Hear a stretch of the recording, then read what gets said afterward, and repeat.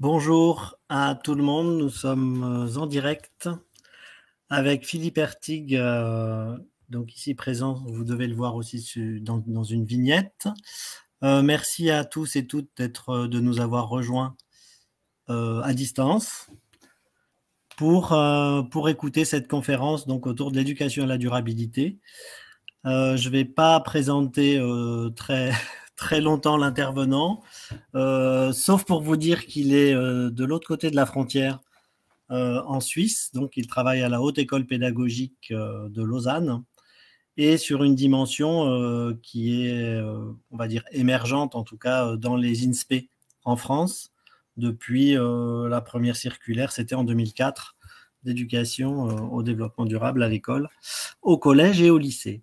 Donc, je suis très heureux d'accueillir euh, Philippe Ertig qui a accepté de, bah, nous proposer cette conférence sur l'éducation et la durabilité. Et donc, il va nous présenter euh, euh, son propos pendant 40-45 minutes et ensuite, je serai chargé de noter ou de, ou de comment dire, prendre un certain nombre de questions en fonction de vos, de vos, de vos questions à vous-même. Voilà. Donc je me tais, je coupe tout et je laisse euh, la parole à euh, Philippe Ertig. À tout à l'heure. Merci Raphaël. Euh, bonjour à chacune et à chacun. Bienvenue pour cette conférence. je vais me mettre le diaporama en plein écran. Voilà. mon propos sera organisé en trois temps principaux et euh, le quatrième temps sera celui des questions et des éventuelles réponses que j'arriverai à formuler à vos questions en fin de conférence. Un premier temps qui est un retour sur l'histoire, l'épistémologie des concepts de développement durable et de durabilité. Pourquoi euh, passer par là, ce qui pourrait sembler être une évidence pour celles et ceux d'entre nous qui enseignons dans ce champ-là, c'est que finalement, ces points-là restent souvent un impensé pour les enseignantes et les enseignants, notamment celles et ceux qui n'ont pas eu l'occasion de suivre une formation de type euh, géographie ou de type euh, sciences de la nature euh, dans leur cursus universitaire et qui donc ne connaissent du développement durable finalement que des, éléments qui relèvent des savoirs de sens commun, pour ne pas dire des, propos de bistrot. Deuxième moment, quelques regards pluriels sur l'éducation en vue d'un développement durable et l'éducation à la durabilité. Par regard pluriel, j'entends des regards qui ne sont pas centrés euh, sur les pratiques euh, de la France, que vous connaissez bien mieux que moi et sur lesquelles il ne m'est pas paru pertinent d'entrer euh, dans cette présentation. Euh, et puis, un dernier temps, avant les questions, qui sera celui dans lequel je discuterai quelques-uns des enjeux didactiques clés et donc des enjeux de formation des enseignantes et des enseignants. Et je pense que c'est notamment sur ce point-là qu'il y aura le plus de questions. Voilà, alors sans plus attendre, commençons par euh, ce petit survol de l'histoire et de l'épistémologie des concepts du développement durable et de la durabilité. En commençant par cette image, euh, qui est une image que j'aime bien montrer à mes étudiantes et mes étudiants, c'est une des premières photos, la première photo largement diffusée de la Terre vue de l'espace, vue depuis la capsule Apollo 8 en orbite autour de la Lune en 1968. Et cette photo a eu une, une influence considérable dans la mesure où elle a contribué à une prise de conscience, une prise de conscience qui est celle que nous vivons sur Terre dans un monde qui est fini, un monde fini dans l'espace. Cette photo a largement contribué à cette prise de conscience. Elle s'inscrit dans un, dans un mouvement qui est celui de la fin des années 60 jusqu'au milieu des années 70, comme on dit chez nous en Suisse, ou 70 en France, qui est la fin de la période des Trente Glorieuses, une période dans laquelle se révèlent euh, déjà certaines crises environnementales, des crises de contestation sociale, pas besoin de vous rappeler 1068 pour, la France, hein. Euh, des crises économiques également, euh, qui avaient plusieurs sursauts euh, pendant ces années-là. Et puis, en 1972, la conférence des Nations Unies sur l'environnement humain à Stockholm, qui est le moment où apparaît le terme sustainability, qui sera plus tard traduit en français par soutenabilité, et ou durabilité, on reviendra brièvement là-dessus peut-être plus tard. À cette période-là, des auteurs ou quelques publications importantes, celle de Kenneth Boulding, un économiste américain qui, en 1966, fait paraître un ouvrage dans lequel il insiste sur la nécessité de passer d'une économie du cowboy, c'est-à-dire d'une économie du gaspillage des ressources, à une économie du cosmonaute, justement euh, du fait que nous vivons sur un monde fini, comme euh, le cosmonaute dans son, vaisseau spatial. Euh, Boulding est un des premiers à dénoncer systématiquement les effets prédateurs du système économique capitaliste qui conduit à l'épuisement des ressources. Euh, à peu près à la même période, Ignacy Sachs propose le concept d'éco-développement. C'est un des conseillers du président de la conférence de Stockholm de 72. ce concept dont vous avez là une définition qui a été reprise dans un ouvrage un peu plus tardif d'Ignacy Sachs, un concept qui aurait pu avoir euh, une vie aussi importante que celle du concept de développement durable, en fait, mais euh, qui a vu son, son envol, en quelque sorte, euh, stoppé par un téléphone de M. Kissinger, Henry Kissinger, alors secrétaire d'État aux États-Unis, qui a refusé que ce, que ce concept soit popularisé, soit diffusé dans notamment dans le cercle des instances liées euh, à l'ONU. Et puis 1972, c'est bien sûr aussi la date du premier rapport du Club de Rome, le rapport Meadows, Halte à la croissance dans sa traduction française, euh, que la plupart d'entre vous connaissez bien. Euh, un ouvrage dans lequel, par des simulations, les auteurs montrent que compte tenu de l'accroissement de la population humaine et des besoins de cette population croissance, on va vers un épuisement des ressources et euh, une catastrophe euh, environnementale et sociale majeure. Euh, un peu plus tard, à la fin des années 80, apparaît donc ce concept de développement durable dans ce qu'il est convenu d'appeler le rapport Brundtland, hein, le rapport Our Common Future, de la commission des, Nations, Unies, présidée par Mme Gro Harlem Brundtland, ancienne première ministre norvégienne, et qui euh, définissait le développement durable euh, par cette phrase euh, très largement connue, hein, c'est un développement qui répond aux besoins du présent sans compromettre la capacité des générations futures de répondre aux leurs. ça, c'est la, la traduction euh, classique, la traduction française de la définition du développement durable dans le rapport Brundtland. On l'a très vite schématisé sous la forme de trois cercles ou trois champs ou trois sphères ou trois piliers, ça dépend des expressions. Hein. Euh, le champ du social, de l'économique et de l'environnemental et le développement durable euh, dans ses différentes dimensions se construit aux intersections de ces trois champs. Ce schéma a ensuite assez rapidement été complété par deux axes orthogonaux qui symbolisent à la fois euh, la globalisation équitable entre nord et sud et l'équité intergénérationnelle entre les générations d'aujourd'hui et celles de demain. Ce que l'on ne sait généralement pas, en tout cas le grand public ne sait pas, c'est que euh, juste après cette phrase qui définit le développement durable, on trouve dans le rapport Brundtland ces deux précisions que vous avez euh, sur la partie inférieure de la, diapo, de la dia ici, euh, dans lesquelles les auteurs du rapport insistent fortement sur les besoins, notamment les besoins essentiels des plus démunis, à qui il faut accorder une grande priorité, et l'idée des limitations que l'état des techniques et de l'organisation sociale impose sur la capacité de l'environnement à répondre aux besoins actuels et à venir.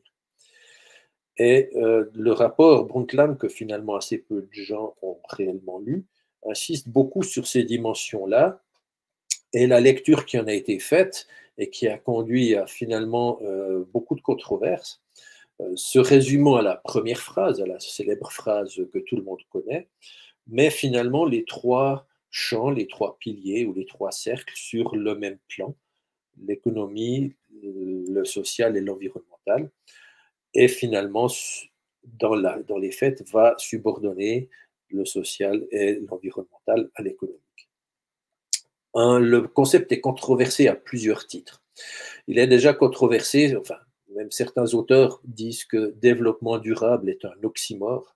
Hein, c'est notamment euh, quelque chose qui a été euh, développé par plusieurs euh, géographes français. le développement durable, un concept controversé. Pourquoi? Parce que finalement, plusieurs champs de controverse surgissent. Le premier qui renvoie à la conception des rapports entre l'homme et la nature, avec d'un côté une conception anthropocentriste, de l'autre une conception biocentriste qui, au final, vont se retrouver dans des conceptions différentes de ce qu'est la durabilité ou de ce qu'est un développement qui permet la durabilité ou la soutenabilité, avec ces oppositions entre durabilité forte et durabilité faible sur lesquelles je reviendrai tout à l'heure. Deuxième champ de controverse, la notion même de ce que recouvre euh, l'idée de ce que recouvre la notion de développement. Et ça renvoie aux différentes écoles de pensée euh, en économie, en économie politique en particulier, avec une conception qui est celle que la croissance est nécessaire pour qu'il y ait développement, avec euh, implicitement ou explicitement l'idée que le capital produit par l'homme, le capital technologique, peut suppléer le capital naturel en cas d'épuisement progressif ou même voire définitif de certaines ressources naturelles. Et ça, c'est une conception qui sous-tend la durabilité dite faible. À l'inverse, euh, certains auteurs, euh, notamment ceux qui sont les tenants de la décroissance, entre guillemets, euh, vont plutôt défendre l'idée qu'il faut limiter la croissance, que le développement ne peut pas être synonyme de croissance en permanence, pour prévenir l'épuisement du capital naturel qui n'est pas remplaçable par les avancées technologiques. Et ça, c'est ce qui pourrait sous-tendre l'idée de durabilité forte. Autre champ de controverse lié à cette idée même de développement, c'est que finalement, euh, cette manière d'associer développement à croissance est une vision très occidentale du développement, euh, à laquelle on peut opposer ou à, laquelle, à côté de laquelle, en tout cas, il faudrait mettre d'autres types de visions, par exemple celle développée par euh, Amartya Sen, qui euh, a centré sa conception du développement sur l'idée de capacité, des capacités essentielles étant celles qui sont relatives à la santé, à l'éducation euh, et à un revenu euh, par habitant en parité de pouvoir d'achat qui permettent à chacune, chacun de vivre dignement. Amartya Sen est un de ceux qui ont défini l'IDH, hein, l'indice de développement Enfin, un dernier champ de controverse, et puis là on voit le lien avec euh, ce qui précède, qui euh, repose sur la question euh, de la satisfaction des besoins humains et qui suppose une réduction, maîtrise des inégalités sociales, l'élimination de la pauvreté, prévention de l'exclusion, garantie de l'accès aux ressources et un cadre de vie de qualité, et puis des processus participatifs et démocratiques. Autant dire que dans certaines régions du monde, on n'en est pas vraiment là sur ce plan-là. Et ainsi, selon certains auteurs, les critiques les plus radicaux du concept de développement durable, le développement durable qui met sur un même plan les trois sphères, les trois piliers, les trois champs, hein, ne, les, hiérarchise pas, est finalement un concept qui a complètement failli, parce qu'il a été euh, récupéré à toutes les sauces, c'est tout le mouvement du, du greenwashing, hein, du recyclage vert.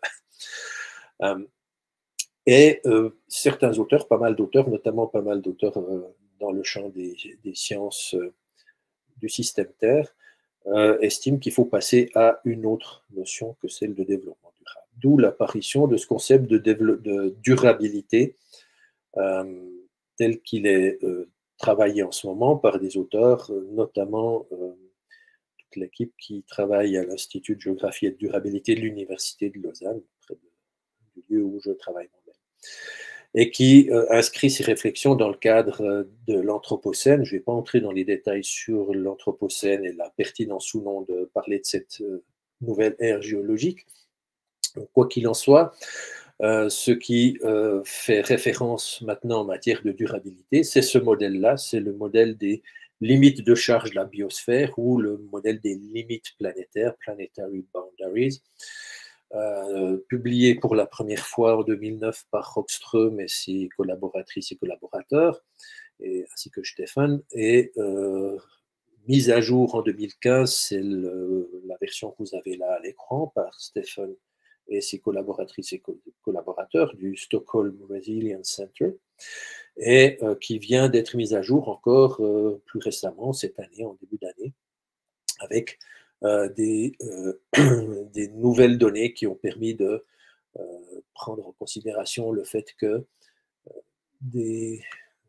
ce qu'ils appellent de nouvelles entités sont également des, champs dans lesquels les limites de la, planète sont largement dépassées. Cette référence-là du, du modèle des limites planétaires euh, est donc ce qui peut être considéré aujourd'hui comme les bases scientifiques euh, qui vont fonder le concept de durabilité. Et là, je vous présente trois dias qui, sont, qui ont en fait été réalisés par une de mes collègues, Nadia Losley, euh, qui vise à distinguer, et c'est des dias qu'on utilise en formation chez nous, qui essayent de distinguer clairement durabilité, développement durable et les ODD.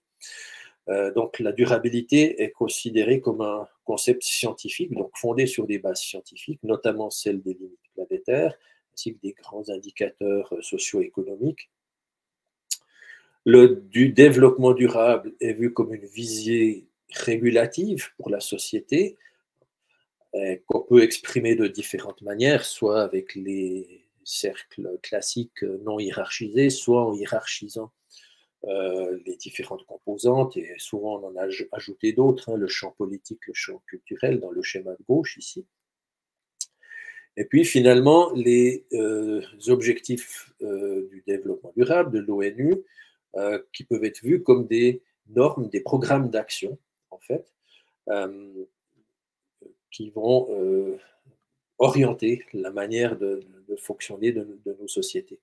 Le wedding cake ou gâteau de mariage hein, du Stockholm Resilience Center, l'image du bas sur cette diapositive, étant une manière de hiérarchiser euh, les 17 objectifs du développement durable en fonction de certaines priorités. Et donc, pour ne pas confondre entre durabilité, développement durable et objectif du développement durable. Donc, euh, des bases scientifiques, une visée sociétale régulative et puis une visée sociétale euh, normative. Reste un dernier modèle important à prendre en considération euh, dans ce contexte, ce survol du contexte et de l'histoire et de l'épistémologie de, contexte du, concept pardon, de durabilité, qui est celui du modèle du donut ou Darknut de Kate Travers, qui combine en fait euh, le modèle des limites planétaires, c'est ce que vous avez sur la partie extérieure du cercle. Là, je vous en mets une version française qui est utilisée par le Centre de compétences en durabilité interfacultaire de l'Université de Lausanne. Euh, donc euh, le modèle des limites planétaires qui est les, cercles extérieurs et à l'intérieur il y a la prise en considération des besoins sociaux essentiels. Et ce modèle combine les deux choses avec des constats où on dépasse ce qu'on peut appeler le plafond écologique dans certains domaines. Là, on retrouve l'enjeu des limites planétaires. Et puis, les situations où le plancher social, le minimum social n'est pas, euh, pas abouti, n'est pas atteint. Modèle auquel on pourrait ajouter cette idée euh, de gouvernance participative qui, est une, qui serait une condition dans un système démocratique pour qu'on essaye d'arriver à l'équilibre entre ces enjeux, euh, enjeux de limitation du dépassement des limites planétaires, enjeux permettant d'atteindre euh, le plancher social autant que possible dans les sociétés humaines. Voilà pour cette euh, première partie euh, sur laquelle évidemment je suis allé assez rapidement. Deuxième partie, quelques regards pluriels sur l'éducation en vue d'un développement durable et l'éducation à la durabilité. Tout d'abord, juste un rappel et sans entrer dans le, détail des dates telles que celle de la décennie des Nations Unies euh, sur euh, l'éducation en vue du développement durable, c'est que finalement, dans les curriculums euh, des écoles du monde occidental, disons, les éducations A se sont multipliées ce n'est pas un fait récent, hein, ça remonte à plusieurs années. Et là, j'ai repris euh, un document, le, représentant un peu différemment de ce qu'elle avait fait, proposé par Angela Barth dans une conférence qu'elle a récemment donnée chez nous à, Lausanne. Euh, et qui montre en fait euh, à partir des années 90-2000 une, une, véritable explosion, pourrait-on dire, des éducations A, de ces intentions de formation euh, transversale dans les curriculums.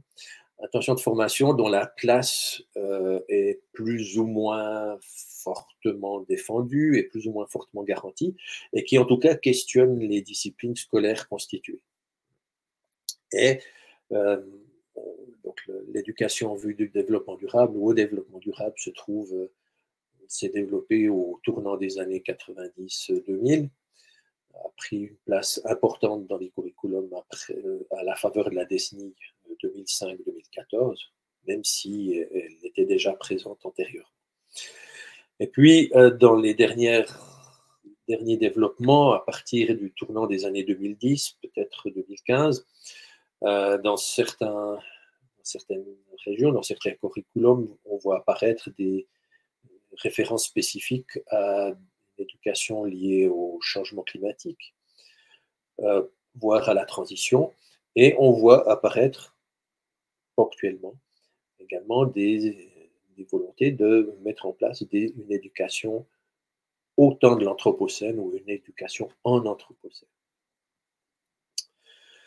Euh, là encore, il faut que je fasse des choix dans le temps qui m'est imparti. Donc, euh, j'ai fait le choix de ne pas développer euh, ce que vous pouvez connaître en France, qui est euh, très bien résumé dans les deux contributions de Jean-Marc Lange et d'Angela Barth dans le dictionnaire critique des enjeux et concepts des éducations A. sur l'éducation au développement durable, la contribution de Jean-Marc Lange qui place le, cadre général, et puis celle d'Angela Qui euh, développe assez rapidement de manière synthétique des postures que l'on peut avoir par rapport à la mise en place de, l'éducation en vue d'un développement durable dans, dans le, champ scolaire, dans le champ de la formation.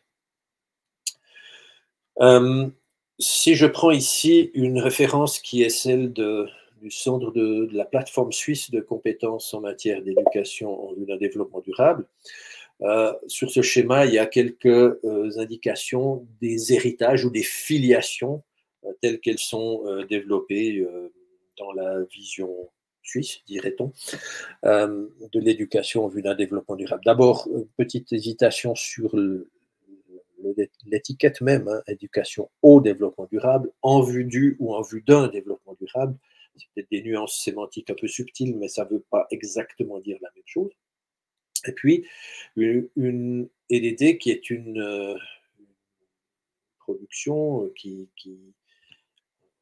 dans laquelle résultent des, héritages qui viennent de l'éducation à l'environnement ou éducation relative à l'environnement et de l'éducation à la citoyenneté mondiale, ce qui dans le monde euh, anglophone s'appelle la Global Education.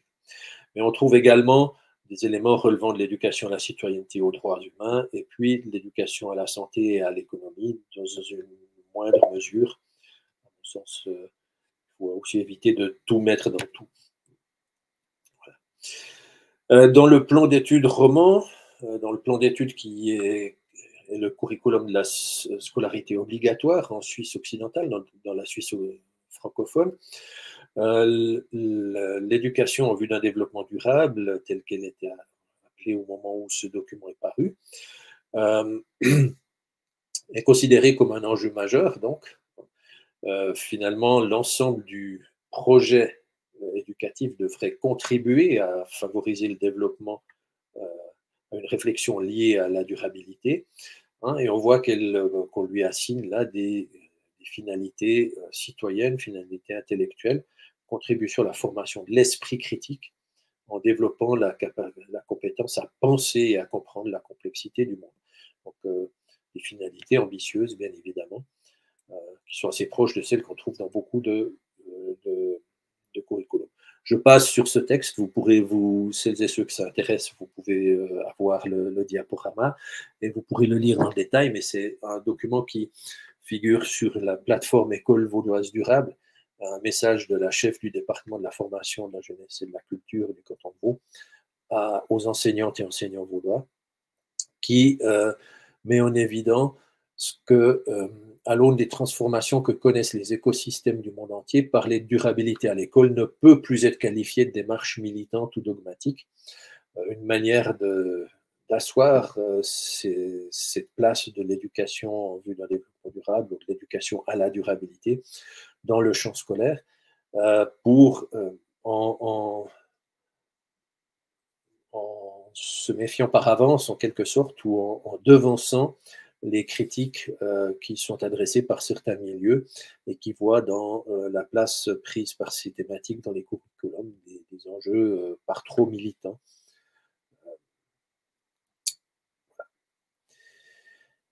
Une approche qui est de plus en plus prégnante dans le monde anglo-saxon et le monde germanophone, qui, est, à ma connaissance, un peu moins fortement établie aujourd'hui pour l'instant dans le monde, euh, dans l'ère francophone, c'est ce qu'on appelle l'approche globale institutionnelle ou whole school approach, euh, qui, selon laquelle, finalement, pour euh, vraiment implémenter, une éducation à la durabilité ou une éducation en vue d'un développement durable, il ne suffit pas que cela soit dans les curriculums, que cela, cela ait une place dans le plan d'études, voire dans la grille horaire.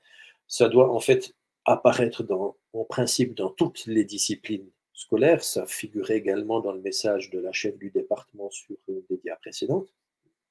Toutes les disciplines scolaires sont en principe concernées, pas seulement celles qui euh, traditionnellement euh, sont mobilisées pour évoquer euh, cela, c'est-à-dire la géographie et les sciences de la nature très souvent, mais toutes les disciplines scolaires sont concernées. Mais pas seulement, mais l'idée c'est également que l'entier d'une institution, d'une institution de formation, d'une école, soit impliqué également dans son fonctionnement institutionnel, administratif, dans ses infrastructures, dans ses relations à son environnement immédiat, à son quartier en particulier, par exemple.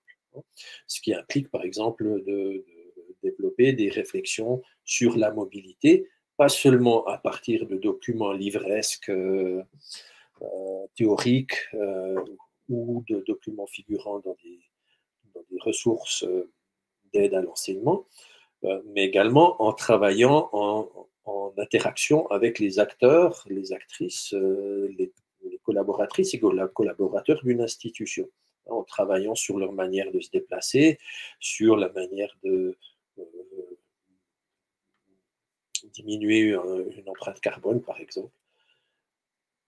donc ça, c'est cette idée. Et euh, un, consortium de hautes écoles euh, en Allemagne travaille de manière systématique sur ces questions-là. D'abord sur des réflexions quant à l'implémentation de la, de durabilité dans les hautes écoles, avec des réflexions sur cette approche whole school, globale institutionnelle. Euh, et ce modèle dit de, l'iceberg, que je trouve assez intéressant parce qu'il met en évidence le fait que euh, il, ne suffit pas de, décréter euh, l'implémentation de, la durabilité dans un établissement. Il s'agit de discuter sur les paradigmes, sur les, des postulats sous-jacents. Euh, d'échanger sur les attitudes des unes et des autres, ensuite sur les valeurs qui sous-tendent ces enjeux-là, et puis finalement euh, sur ce qui se voit directement, sur les comportements, sur les impacts visibles d'actions qui sont plus ou moins favorables à l'environnement. Vous avez sur, sur cette dial le, lien sur le projet, le projet HORN, euh, qui est mené par euh, ses collègues allemands. Euh, bon, le site est essentiellement en allemand ou, ou en anglais. Il n'y a pratiquement rien en français dessus. Mais c'est vraiment une approche fort intéressante aussi pour questionner cette mise en place à l'échelle de l'entier d'une institution de, des principes de l'éducation à la durabilité. On peut faire le parallèle avec ce que certains collègues, je pense à Denis Dessagne par exemple, travaillent en termes de territoire apprenant. Voilà. Impact sur la conception des curriculums. Hein. sur les enjeux didactiques et curriculaires, c'est aussi tiré de ces documents du projet HORN qui montre qu'en fait l'implémentation de l'éducation en vue d'un développement durable est dans une perspective institutionnelle globale, euh, nécessite des connaissances sur le développement durable ou sur la durabilité, pourrait-on dire, euh, actuellement, et également des connaissances spécifiques sur euh, les enjeux de l'éducation d'un développement durable. Voilà. Je ne vais pas trop développer ce point de vue-là. je reviens sur quelque chose que vous connaissez peut-être un peu mieux encore, c'est que finalement, tous ces enjeux, si on vise une durabilité forte, et c'est ce qui est euh, ce qui sous-tend finalement euh, pas mal de, textes aujourd'hui, hein, pas mal de textes de référence euh, dans plusieurs, dans plusieurs pays occidentaux. Si on veut aller dans la direction d'une durabilité forte, ou d'une transition écologique ou d'une transition énergétique, il faut être conscient du type de changement qui, sera nécessaire. Et à cet égard-là, on peut se référer à ce modèle des trois types de changements de Sterling, euh, qui différencie entre le changement conformatif, hein, qui consiste à faire les choses mieux que ce qu'elles sont aujourd'hui. Par exemple, si je prends l'exemple de la voiture, c'est améliorer, excusez-moi, le rendement énergétique d'un moteur, euh, moteur thermique. Le changement réformatique, faire de meilleures choses, consistera à passer à la voiture euh, électrique.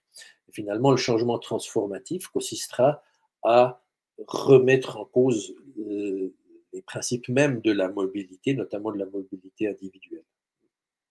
Et ce qui euh, ressort clairement, c'est que pour arriver aux changements nécessaires, euh, qui sont ceux exigés par les, le contexte environnemental, les, limites planétaires dépassées, le changement climatique, les, les 1,5 ou plus 2 degrés euh, Celsius que, vous connaissez toutes et tous. Finalement, la, seule manière d'y parvenir c'est un changement transformatif, un changement de grande ampleur. Et pour cela, il faut une éducation en vue d'un développement durable ou au développement durable. Je reprends là un document de Jean-Marc Lange qu'il a utilisé euh, notamment lors de conférences qu'il a données l'année dernière chez nous, hein, et euh, qui distingue entre une éducation dite faible et une éducation dite forte, hein, avec des positions intermédiaires possibles avec les curseurs. Aujourd'hui, la majorité des réflexions débouchent plutôt dans le sens d'une éducation plutôt faible, hein, où on donne encore beaucoup de, d'importance aux éco-gestes et aux innovations techniques qui seront des manières d'atténuer euh, les effets, euh, mais pas de lutter vraiment contre les causes euh, du changement climatique, par exemple, ou des impacts sur les limites planétaires. Alors qu'il faudrait passer vers quelque chose de beaucoup plus radical, qui est une, une éducation à la durabilité forte permettant une soutenabilité forte, euh, qui est la seule condition qui nous euh, permettra de continuer à vivre dans des conditions acceptables sur la planète. Je passe au dernier volet de cette euh, présentation avec maintenant quelques réflexions sur des enjeux didactiques de nouveau, euh, je vais partir de considérations relativement euh, générales qui sont probablement connues de la plupart d'entre vous, euh, mais qui peuvent être mises en, discussion et qui, en tout cas, sont là pour être peut-être des, balises de, réflexion pour les, collègues formatrices et formateurs d'enseignantes et d'enseignants. Tout d'abord, un petit rappel, c'est une évidence, mais pour appréhender les enjeux de société d'aujourd'hui et de demain, à travers le prisme de la durabilité, il faut être capable d'appréhender des phénomènes et des processus qui impliquent une pluralité d'acteurs, qui font référence explicitement ou implicitement à des valeurs, euh, qui sont multifactorielles, multiscalaires, que ce soit euh, au niveau spatial ou, au niveau temporel, mais également certaine manière au niveau social, puisqu'il y a une pluralité d'acteurs, des phénomènes et des processus qui relèvent des sciences humaines et sociales et des sciences de la nature, et donc pour lesquels il est nécessaire de mobiliser euh, les systèmes explicatifs de ces champs euh, scientifiques, des phénomènes et des processus qui pratiquement toujours impliquent des boucles de rétroaction, qui donc nécessitent une approche systémique et euh, la mobilisation du paradigme de la complexité. Et donc ça, évidemment, en termes d'enjeux didactiques clés, euh, ça a un certain nombre de conséquences. Ça signifie qu'il faut que ce qui est proposé aux élèves, aux apprenantes, aux apprenants, leur permette de dépasser, de déconstruire le recours spontané euh, au raisonnement causal linéaire ou au raisonnement binaire. Il faut amener les élèves à être capables de mobiliser la pensée critique, la pensée systémique, la pensée complexe. Des recherches euh, nombreuses, euh, que ce soit celles, euh, par exemple, qui ont été dirigées par François Audigier et son équipe RDS dans les années, au tournant des années 2010, ou des recherches plus récentes, celle de, Jean-Marc Lange, par exemple, ou de nombreux autres auteurs, également celles et ceux de l'équipe euh, du laboratoire Géode à Toulouse, à laquelle participe Raphaël, qui modère cette conférence. Euh, des points délicats en termes d'apprentissage, c'est la temporalité des phénomènes, hein, des phénomènes dont les effets se déploient sur des temporalités qui sont différentes de la temporalité de la vie quotidienne de l'être humain. Euh, l'identification des acteurs. Très souvent, euh, on constate que les élèves et parfois les enseignantes et les enseignants aussi euh, ne mentionnent des acteurs que de manière très générique, hein, très impersonnelle. La nécessité d'expliciter les valeurs, la compréhension de phénomènes et de processus complexes, un, effet, un exemple classique, l'effet de serre et les processus qui génèrent l'effet de serre additionnel très souvent un obstacle assez conséquent. La notion de rétroaction, pour l'appréhension de laquelle il est euh, très, très souvent nécessaire de passer par une représentation graphique, notamment pour que les élèves comprennent bien ce que recouvre euh, l'idée d'une euh, rétroaction positive ou d'une rétroaction négative. Et puis, comme je l'ai déjà mentionné, la nécessité de l'approche systémique et, de l'approche par le paradigme de la complexité pour euh, décoder des, phénomènes, des processus multifactoriels, multiscalaires. Et enfin, euh, des enjeux de posture, euh, puisqu'il y a aussi tous les enjeux de développer son propre point de vue, d'avoir la capacité de penser de manière critique. Et donc, qui pose là des points de vue, des enjeux en termes de posture des enseignantes et des enseignants.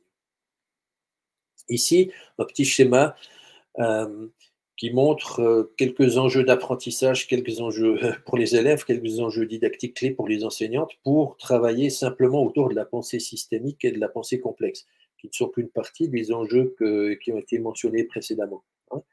Et donc, ça montre bien que finalement, on est face à des enjeux didactiques clés tout à fait conséquents euh, quand on appréhende ces enjeux, ces questions d'éducation à la durabilité en formation des enseignantes et des enseignants. Sans compter qu'il y en a encore qui portent sur des enjeux émotionnels, euh, affectifs, sur la question de l'éco-anxiété en particulier. Et donc, ça débouche sur quelques enjeux généraux en termes de formation des enseignants. Euh, et je pense que, je ne suis pas le seul à le penser, mais je pense que la formation des enseignantes et des enseignants doit donc comporter des éléments qui portent sur l'épistémologie des sciences, doit donner de la place à l'approche systémique et aux approches de la complexité, doit permettre une réflexion politique sur les changements nécessaires, euh, le rôle de l'école et les postures des enseignantes et enseignants en regard de ces changements. Hein, en faisant de nouveau référence là au modèle euh, de Sterling tout à l'heure, un hein, changement transformatif. Est-ce que l'école peut être un outil euh, d'un changement transformatif? Les finalités et les modalités de l'évaluation, parce que ça c'est évidemment une boîte de Pandore qu'on ne va pas ouvrir maintenant, mais il est assez clair qu'il est indispensable euh, de faire bouger les modalités de l'évaluation qui dominent encore dans nos systèmes scolaires actuels euh, si on veut vraiment euh, aller vers une école transformative. Travailler sur des dispositifs didactiques et des pédagogies transformatrices qui prennent en compte notamment la prospective et avec des enjeux sur l'exemplification et la conceptualisation. Euh, des enjeux particuliers en termes de réflexion sur la construction de séquences et de dispositifs didactiques, avec toute une série d'enjeux particuliers autour de la problématisation, des phases de problématisation, mais également des phases de conceptualisation et d'institutionnalisation. Et puis, euh, des enjeux qui restent souvent impensés, mais qui sont ceux de la gestion et de la modération des interactions tout au long d'une démarche euh, qui, serait une démarche d'investigation si on construit la démarche euh, de cette manière-là. Ce qui amène à quelques réflexions, et ce sera par cela que je terminerai dans quelques minutes, quelques instants, sur les compétences enseignantes. Et pour ceci, il existe toute une série de modèles principalement dans l'ère anglophone et l'ère germanophone. Je vais passer sur les détails de ces modèles. Vous avez les références à la fin du diaporama qui vous permettront de vous euh, référer aux sources principales. Euh, notamment cet article euh, de Francisca Berchi, qui est une collègue qui travaille dans une haute école pédagogique de Suisse alémanique, et qui a, euh, dans la version de cet article que je vous ai mis là en anglais, il y a une version en allemand aussi, mais je vous ai mis la version en anglais, qui est peut-être plus accessible euh, en, moyenne, qui euh, présente trois modèles. Le modèle CSCT, Curriculum Sustainable Development Competencies and Teacher Training, qui est un modèle qui a été développé dans le cadre des travaux de la Commission sur l'économie européenne de l'ONU, un modèle assez influencé par la notion même de compétence, euh, bien entendu, euh, dans son sens euh, premier du terme, mais qui est intéressant par le fait qu'il met en interaction une dimension réflexive et également des enjeux liés à la place de l'enseignante et de l'enseignant dans la dans l'institution, triangle, le triangle bleu, dans la société, et puis ses valeurs à titre personnel. Un autre document qui est également présenté, dans les grandes lignes sont présentés, c'est le modèle général des compétences enseignantes selon Baumert et Kunter. Ce sont des auteurs allemands, qui est repris dans le même texte de Berchi et, de ses collègues.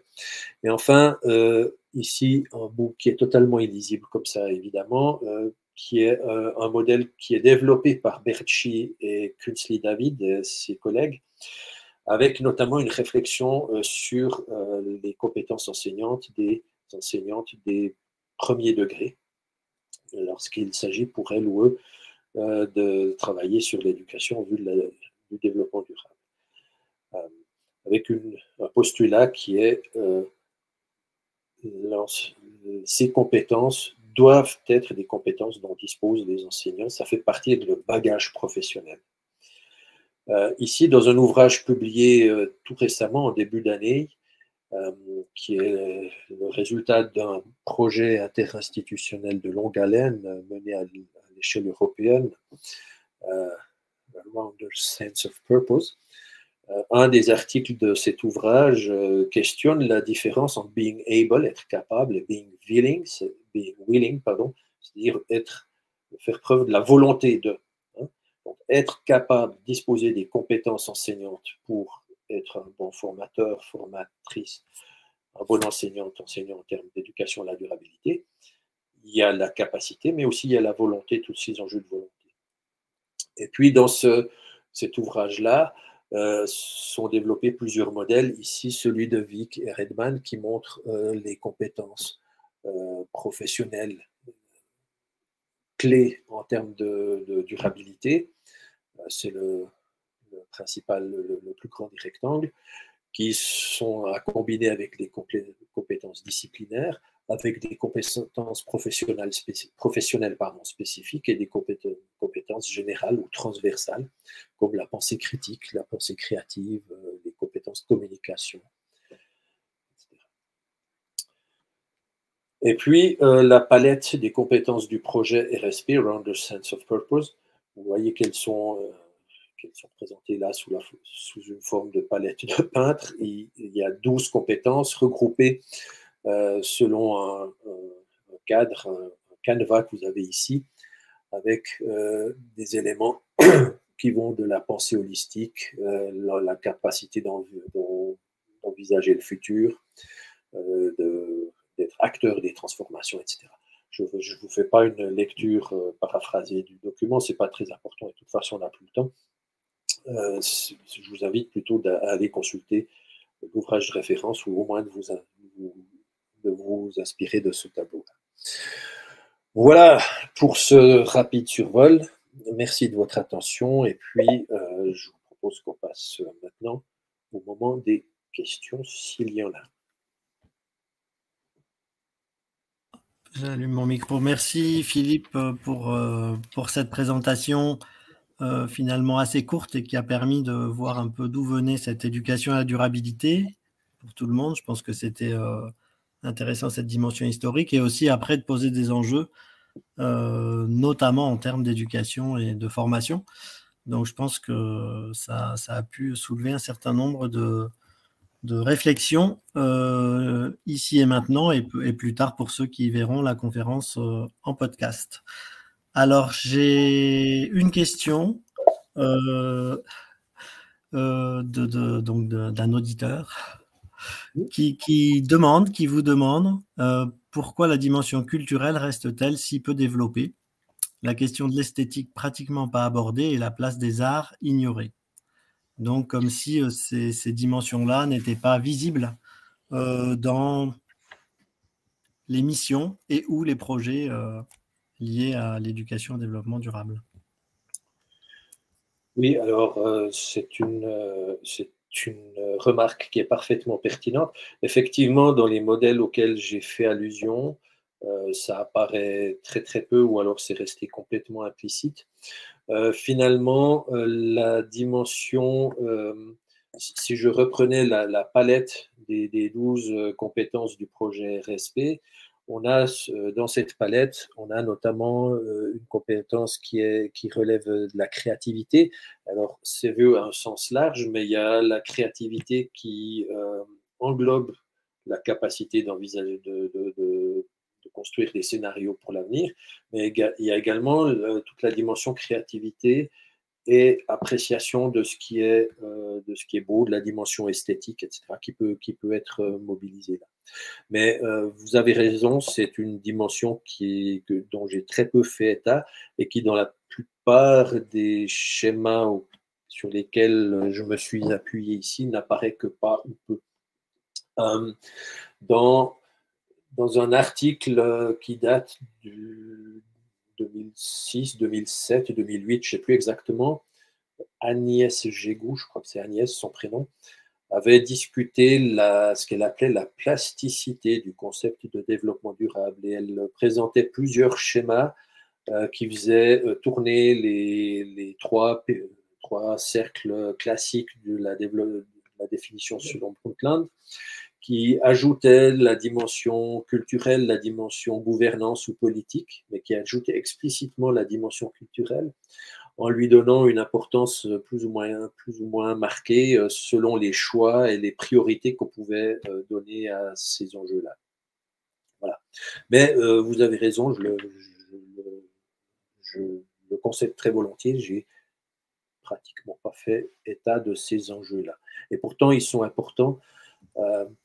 On pourrait se cacher derrière le fait que globalement, ils font partie de la sphère du social, mais c'est un peu facile comme réponse, je le conseille. Mais, mais c'est peut-être vrai aussi que dans la littérature, euh, ce n'est pas des dimensions qui sont euh, très nombreuses par rapport à d'autres qui sont beaucoup plus traitées, quoi. Enfin, des thématiques, j'ai envie de dire, ou des disciplines. oui, encore que euh, si je fais référence simplement à ce qui se passe dans l'institution où je travaille, nos collègues de, l'unité d'enseignement et de recherche didactique des arts visuels et de la, technologie. Travaillent pas mal dans la dimension art visuel dans la dimension technologie aussi, bien sûr, mais dans la dimension art visuel, euh, autour de, démarches telles que celle du land art et de la, contribution que des types de ce démarche-là, des, types de démarches telles que celle-ci, euh, dans le cadre de l'outdoor education, pour utiliser un autre anglicisme, ou pas, euh, peuvent apporter à des, travail sur euh, la durabilité et l'éducation à la durabilité. Merci. Alors une autre question, je ne suis pas sûr de la traduire correctement, mais de ce que je comprends de l'écrit, c'est euh, est-ce que l'économie, euh, enfin l'éducation à l'économie sociale et solidaire entrerait, pourrait entrer comme un des aspects de l'éducation au développement durable? Oui, tout à fait. Si je me réfère à, la DIA où j'ai présenté la conception de l'éducation à la durabilité ou au développement durable, qui est celle de la plateforme Éducation 21 en Suisse, hein, qui est un centre de compétences donc, au niveau national, euh, qui, regroupe aussi les trois régions linguistiques euh, principales la Suisse, donc euh, germanophone, francophone, italophone il y a explicitement cette idée d'éducation à l'économie et d'éducation à l'économie solidaire qui, apparaît. Et puis, on peut également la voir derrière le, modèle du donut hein, de, Raworth. Il y a bien ces enjeux-là, non seulement la prise en compte des, limites, planétaires qui apparaissent, mais euh, cette réflexion sur les conditions de garantie euh, d'accès à ce que Raworth appelle le plancher social, c'est-à-dire euh, des conditions de vie décentes pour tout un chacun dans le monde. Donc oui, clairement, à mon avis, ça peut relever de l'ensemble de ce qu'on mettrait sous le, sous le libellé d'éducation en vue d'un développement durable. Merci. Alors une autre question un peu plus euh, théorique et personnelle peut-être. On vous demande si euh, d'aller vers une durabilité forte en abandonnant la sphère économique et en subordonnant la sphère sociale à l'environnement, est-ce que ça vous paraît être une nécessité? Euh, Alors, je vais répondre en deux temps. abandonner l'économie, je pense que c'est une vue de l'esprit. Euh, le système économique fait partie du système des sociétés humaines. La question, c'est euh, d'éviter que l'économie, et notamment l'économie dans une conception euh, néolibérale et visant le profit immédiat, soit ce qui est le primat sur tout le reste. Ça, c'est le premier enjeu.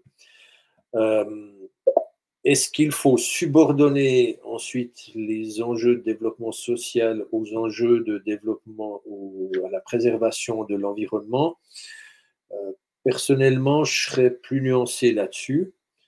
Euh, bien entendu, il y a des enjeux environnementaux absolument essentiels et euh, on sait qu'un certain nombre, enfin, le modèle des limites planétaires est assez explicite là-dessus. Euh, cela étant, on voit bien que euh, si on ne résout pas euh, des, défis sociétaux majeurs, on pourra faire ce que l'on voudra, mais on, ne pourra pas préserver l'environnement. c'est un peu un slogan facile, mais dans, certains pays voie de développement, enfin, je sais que l'expression, elle est, peu acceptée, mais enfin, dans pas mal de pays du Sud, dans les pays dans lesquels il y a d'énormes inégalités sociales, la réflexion sur la préservation de l'environnement, est parfois considérée comme, un privilège des riches. parce que le souci premier et quotidien de la plupart des, habitants, euh, c'est de se nourrir, de trouver de l'eau potable, euh, de lutter contre des maladies, etc. Donc, à mon sens, on ne peut pas euh, complètement subordonner le social à l'environnemental. Je pense que selon les secteurs, il faut peut-être mettre des priorités, mais à mon avis, avis personnel, hein, je pense que la crise sociale actuellement est au moins aussi grave que la crise environnementale on s'en rend pas encore trop compte parce que nous avons le privilège de vivre dans des pays riches. Euh, J'inclus la France, hein, même si euh, je sais que vu de la France, la Suisse paraît comme un pays très très riche, euh, ce qu'il faut parfois nuancer, mais bon, c'est pas là le propos. Voilà. et donc, c'est clair que chez nous, on aura peut-être la tentation de prioriser les enjeux environnementaux, mais mais même chez nous, on constate assez vite que si on ne satisfait pas en premier lieu euh, des besoins sociaux euh, fondamentaux, euh, les préoccupations environnementales, elles vont passer au second plan, voire complètement à la trappe. je ne sais pas si j'ai répondu à la question telle qu'elle a été posée, mais en tout cas, c'est mon avis personnel il n'est pas vraiment fondé sur beaucoup de lectures théoriques, mais c'est euh, une appréciation personnelle de la situation. Merci. Alors, une question plus liée à la formation des enseignants. Euh, maintenant, comment éviter euh, ou comment améliorer la cohérence de la formation et éviter le risque de juxtaposition? Plusieurs objectifs de formation et référentiels de compétences sont utilisés au sein d'une même institution est-ce qu'il faut opérer une hiérarchisation et si oui, laquelle? Et en gros, quelle est votre expérience à vous à la HEP euh, de Lausanne? Bien, alors, je ne sais pas si la personne qui pose cette question euh, fait référence à un contexte institutionnel particulier. Euh, si je prends que le cas de la HEP Vaud, on a depuis pas mal d'années dans cette institution un, laboratoire de recherche sur euh, l'éducation en vue d'un développement durable, qui a, participé à plusieurs projets, qui a développé des projets, encadré des thèses de doctorat après. Ça, c'est un aspect. Euh, plus généralement, dans la formation des enseignantes et des enseignants, euh, longtemps, on a effectivement eu des, des interventions plutôt, euh, comment dirais-je, euh, ouais, ponctuelles. C'est-à-dire c'est l'éducation en vue d'un développement durable, c'est quelque chose qui apparaissait euh, dans les, dans les cours didactiques de la géographie, dans ceux de sciences de la nature, et ponctuellement ailleurs, parfois en didactique de et technologie, comme je disais tout à l'heure, mais peut-être plus lié à des individualités parmi des formatrices et des formateurs qu'à une volonté institutionnelle. Depuis quelques années maintenant, on a vraiment un projet euh, institutionnel fort, alors qui est, qui est en cours, hein, c'est vraiment un, work in progress, excusez-moi pour l'anglicisme, euh, euh, où on essaye d'aller dans la direction d'une approche institutionnelle globale. Et effectivement, cela suppose une, une réflexion de fond. On voit qu'en ce moment, il y a des choses qui ne marchent pas très bien chez nous parce que euh, ce que mettent les unes, les uns et les autres sous l'étiquette durabilité n'est pas forcément la même chose. Ce que met mon collègue responsable des infrastructures euh, sous le mot durabilité n'est pas forcément ce que je mets derrière ce terme moi en tant que didacticien de la géographie. Voilà. Donc déjà, il faut apprendre à se parler, il faut construire un vocabulaire commun, ou sinon un vocabulaire tout à fait commun, mais au moins qu'on sache ce à quoi les uns et les autres font référence. Ça, c'est déjà un premier enjeu, et ça, ça prend du temps. Je vous renvoie à la dia où il y a le modèle de l'iceberg de, de, Madame Bellina, hein, du, projet allemand Hochend, c'est exactement ça. Ces enjeux sous-jacents, euh, doivent être clarifiés. Et puis après, dans, les, dans, les, dans les curriculums, dans les référentiels euh, de, compétences des enseignantes et des enseignants, ce qu'il faudrait éviter, c'est que ce soit déjà qu'il y ait des contradictions d'un curriculum à l'autre, c'est-à-dire d'une d'une discipline à l'autre, par exemple, d'une didactique disciplinaire à l'autre. Idéalement, il faudrait éviter les contradictions. Et puis, il faudrait donner plus de place pour des approches intégratives qui permettent euh, de travailler par projet de manière euh, transversale. On le, peut grâce à certains éléments du curriculum qu'on a chez nous, qui s'appellent soit des, des modules euh, interdisciplinaires, soit des modules dits d'approfondissement, mais ce sont toujours des, éléments de formation qui sont à choix des étudiants, qui peuvent choisir parmi d'autres. Donc on n'a pas, on n'atteint pas le 100% des étudiantes et des étudiants. Et puis, on a des offres en formation continue qui vont dans ce sens-là. Euh. Merci. Alors, pour poursuivre un peu sur, euh, sur la formation, toujours, euh, j'avais une question, mais finalement, quelqu'un l'a a posé dans le même type d'idée, là, en nous disant l'éducation à la durabilité faible me paraît faisable facilement, mais pour la durabilité forte qui implique une forte remise en question, comment l'introduire? Avez-vous des pistes euh, concrètes euh, ou quels seraient des éléments facilitateurs pour que les enseignants euh, puissent se lancer dans cet objectif-là? Ben, C'est peut-être une, la palissade de le dire, mais la première chose, c'est que les enseignantes et les enseignants soient au clair sur le fait que ce qu'on peut mettre sous durabilité, ben, ça va de la durabilité faible c'est-à-dire euh, au business as usual avec du greenwashing, toujours, excusez-moi pour les anglicismes, mais ils sont parfois plus efficaces que les expressions françaises, euh, jusqu'à euh, la durabilité forte. Alors, je pense que c'est vraiment déjà avoir la connaissance de, ces modèles de référence. Et puis après, aller vers une éducation qui va en direction de la durabilité forte, Là, je vous reverrai peut-être à ce qu'il y avait sur euh, la dia dans laquelle j'ai euh, repris le schéma de Jean-Marc Lange, qui distingue entre éducation à la durabilité faible et éducation à la durabilité forte. Ce sont des démarches dans lesquelles il faut intégrer des, démarches euh, participatives, des démarches de la prospective, dans lesquelles il faut envisager des scénarios euh, en, évaluant celles et ceux qui, les scénarios, les idées qui sont de nature à aller dans une direction de durabilité forte. Donc je pense que c'est vraiment euh, une question de démarche euh, à, mettre en place, y compris des démarches faisant, oui, impliquant vraiment les élèves autour d'entrée par projet.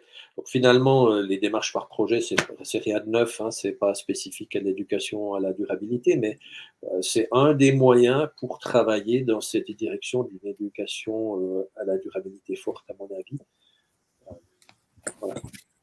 Très bien. Alors, une toute dernière question, puisqu'il va falloir que nous rendions l'antenne. toujours du point de vue de la posture enseignante, quel point de vigilance euh, vous auriez à nous partager pour éviter de développer une éco-anxiété chez les élèves Alors, je sais que c'est quelque chose d'assez récent dans les recherches, hein, mais néanmoins, c'est une préoccupation euh, euh, du point de vue de la formation qui, est, bien présente. Oui. Alors, eh bien, je pense que la première chose à faire, c'est d'écouter et d'accepter les manifestations des élèves lorsqu'ils font état de d'éléments qui les troublent, qui leur, qui leur font peur, etc. Et ensuite d'essayer de travailler dans la direction de que peut-on faire? Même déjà à mon échelle personnelle, à mon échelle individuelle, qu'est-ce que je peux faire et euh, comment est-ce qu'on peut aller vers une situation qui peut s'améliorer? C'est-à-dire qu'il ne faut, il faut pas rester sur le constat catastrophiste, mais toujours essayer de faire le pas de euh, vers quelle solution peut-on se diriger? Voilà.